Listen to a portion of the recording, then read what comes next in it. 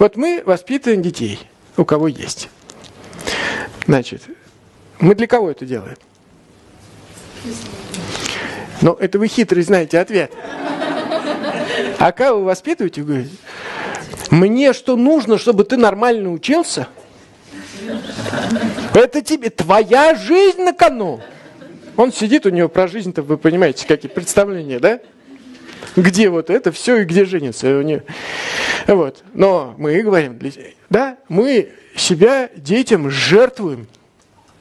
Отказались от просмотра фейсбучной ленты и сели с ребенком играть.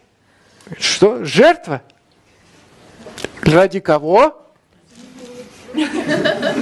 Из-за этого упыря. Знаете, спиногрыза или что там про них говорят, про детей. Улавливаете, да?